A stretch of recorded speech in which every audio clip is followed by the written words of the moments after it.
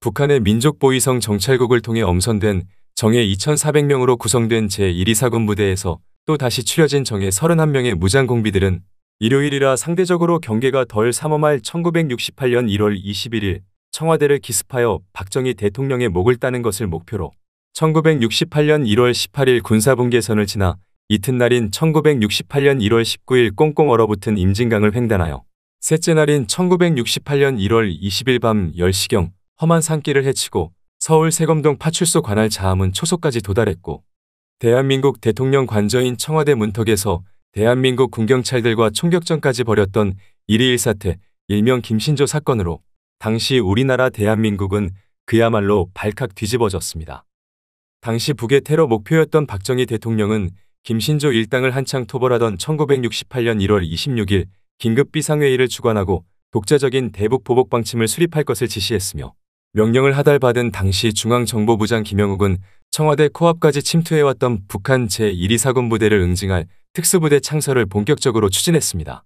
김영욱은 육군참모총장 김계원, 공군참모총장 장지량, 해군참모총장 김영관, 해병대사령관 강기천을 비롯해 훗날 장영자와 함께 초대형 사기 사건을 저지른 당시 중앙정보부 해외정보국장 이철희까지 소집하여 특수부대 창설과 대북 침투 작전에 대해서 논의했고 북의 공중으로 침투하는 것이 가장 적합하다는 판단하에 중앙정보부가 감독 지원하고 공군이 주도하여 훈련 및 육성하는 것으로 특수부대 창설 계획을 수립했습니다. 이러한 과정들을 거쳐 1위 1사태가 발생한 지 3개월 만인 1968년 4월 북파 목적으로 창설된 특수부대의 정식 명칭은 공군 2325 부대 209 파견대로 때로는 작전 암호명 오소리를 따서 오소리 부대 때로는 창설된 시기 68년 4월을 따서 일명 684 부대 또는 훈련 장소인 실미도를 따서 속칭 실미도 부대라고 불리며 비밀스럽고 은밀하게 조직되었습니다. 실미도는 인천에서 100길로 16km나 떨어져 있는 작은 섬으로 지도상에서도 잘 나타나 있지 않을 뿐더러 여객선도 다니지 않는 무인도로서 공군에서 대북정보 수집 등을 담당하는 2325 부대와도 멀지 않고 북한 침투라는 비밀스러운 목적을 가지고 은밀하게 훈련하기 위해 선택된 곳으로 이 외딴 섬에는 난파된 김신조 부대와 동일한 31명의 젊은 청년들이 공군 소속 훈련 조교들과 함께 북파를 가정한 강도 높은 훈련들을 소화하기 시작했습니다. 1968년 4월 창설되어 1971년 8월 25일 일명 실미도 사건이 발생할 때까지 3년이라는 짧지 않은 시간 동안 여느 비극적인 사건들처럼 잘못된 수많은 선택들이 누적되었겠지만 어쩌면 이 비극은 속칭 실미도 부대의 부대원들을 조직하는 순간부터 예견된 것이라 해도 과언이 아닐 것입니다. 북에 침투한다는 것은 목숨과도 직결된 작전으로 본래 계획은 사형수로 부대원들을 구성할 계획이었으나 법무부의 제동으로 추진할 수 없었고 이에 중앙정보부와 공군은 교도소를 비롯해 유치장 갱생보호회 등을 돌며 대상자들을 물색했으나 이마저도 여의치 않게 되자 특수훈련에 대한 위험성과 생명마저 잃을 수 있다는 사실조차 제대로 고지하지 않은 채 일반인들을 대상으로 파격적인 조건들을 내세워 모집하기에 이르렀으며 심지어 강제로 납치한 후 지키지도 못할 각종 조건들을 내세워 회유하는 등의 과정을 통해 부족한 부대원을 충원했습니다. 이렇게 여러 우여곡절 끝에 모집한 31명의 청년들은 나이도 출생 지역도 심지어 직업마저 제각각이었으며 모집 당시 내세웠던 장교 후보생이라는 현역사병 신분뿐만 아니라 이들에게 부여된 군번마저 모두 가짜 거짓으로 서류상으로는 민간인으로 분류되었습니다.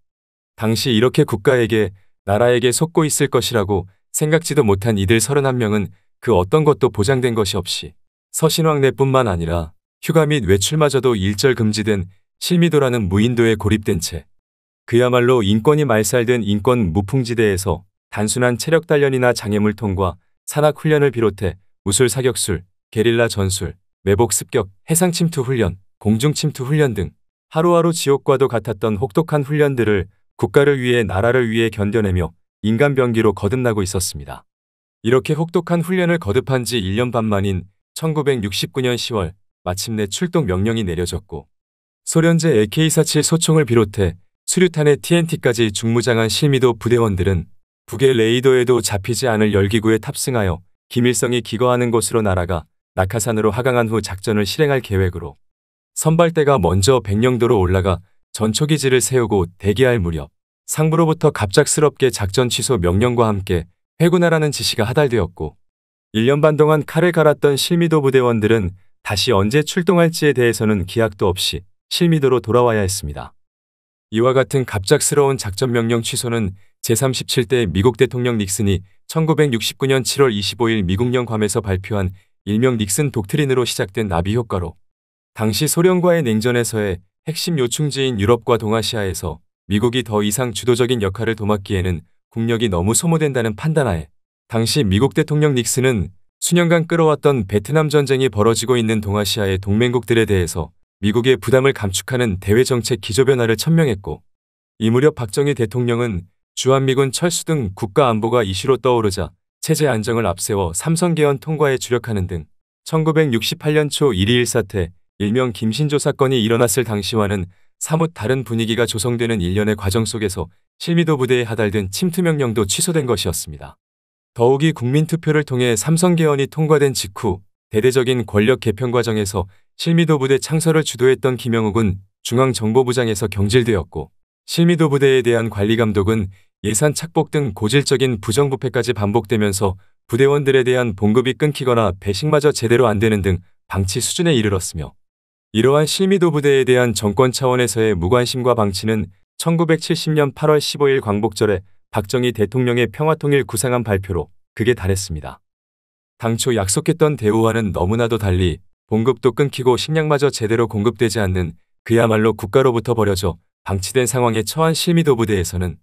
가혹한 훈련들을 받던 중 심장마비 등으로 소중한 생명을 잃는 경우뿐만 아니라 부대를 탈출하다 발각되거나 탈영하여 인근 섬에서 숨어들어 각종 불법 행위들을 저지른 부대원들을 법에 의해 처벌하는 것이 아닌 제대로 된 절차조차 없이 자체적으로 처형하는 등 기본적인 법이나 인권조차 무시된 엄혹한 환경 속에서 총 31명의 부대원 중 7명이나 목숨을 잃는 말도 안 되는 상황들이 벌어지면서 살아남은 24명 부대원들의 마음속에서는 불안과 불만이 쌓이기 시작했고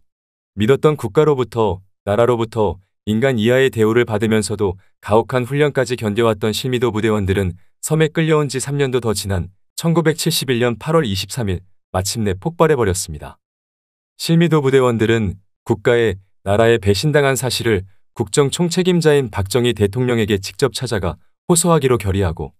1971년 8월 23일 새벽 자신을 관리감독 훈련시켜 주었던 대한민국 공군 소속 교관 및 기관병들을 살해한 후 실미도를 벗어나 오후 12시경 인천 독배부리 해안에 상륙한 뒤 인천 시내버스를 탈취하여 청와대로 돌진했습니다. 시내버스를 탈취한 실미도 부대원들은 얼마 못 가 군과 총격전을 벌였고 이 과정에서 버스 타이어가 터져 더 이상 이동하는 것이 어렵게 되자 시내버스에서 나와 인천과 수원을 오고 가는 시외버스를 다시 탈취하여 버스 안에 시민들을 태운 채 다시 청와대로 돌진했습니다. 실미도 부대원들이 탈취한 버스는 오후 2시경 서울 대방동 로터리에서 매복하고 있던 군과 경의 총격을 받고 유한양행 건물 앞 가로수를 들이박으며 멈춰 섰고 이후 실미도 부대원들과 군경의 총격전이 몇 차례 오고 간 끝에 탈취한 버스 내부에서 수류탄이 폭발하며 상황은 종료되었습니다. 1971년 8월 23일 새벽 실미도에서부터 백주대낮 대한민국 수도 서울 한복판에서 벌어진 총격전과 수류탄까지 폭발했던 일명 실미도 사건으로 인해 아무 잘못도 없는 시민 6명을 비롯해 실미도 부대 교관 18명과 경찰 2명, 실미도 부대원 20명까지 하루 만에 수십 명의 소중한 생명을 잃은 비극이 발생했고 1968년 4월 대한민국을 위해 목숨까지 바칠 각오로 조직된 특수부대 실미도 부대는 3년이 지난 1971년 8월 23일 하루 사이에 벌어진 일명 실미도 사건으로 수십 명의 사상자를 발생시킨 난동 집단이 되었습니다.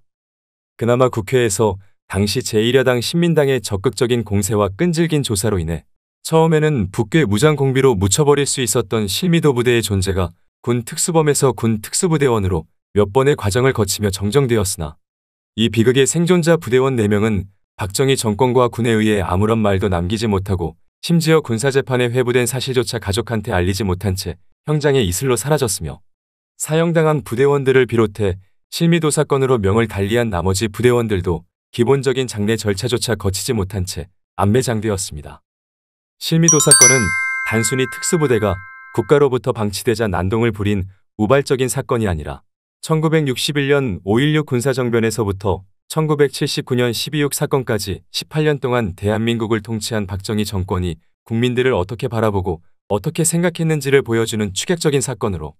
무고한 시민들과 경찰들을 비롯해 공군 소속 교관들의 소중한 생명을 앗아간 이들의 잘못은 분명하겠으나 이들도 다른 사람들과 다르지 않은 일반 국민들로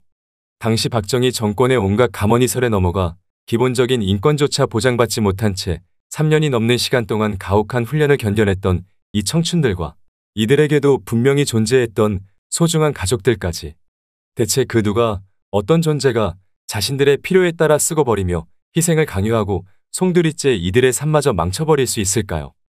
국가를 위해 목숨을 바쳐 온갖 일들을 겪어야 했던 이들은 국가로부터 버려진 채 수십 년 동안 존재조차도 인정받지 못했고 1971년 8월 23일로부터 46년이 지난 2017년 8월 23일이 되어서야 제대로 된 장례가 치러졌으며 2021년 오늘날까지도 진실규명조차 이뤄지고 있지 못한 현재 진행형인 사건이자 대한민국 현대사의 비극 중 하나로서 오늘날을 살고 있는 우리가 기억해야 할 것입니다. 끝까지 시청해 주셔서 감사합니다. 앞으로도 저희 채널에 대한 많은 관심과 격려 부탁드립니다.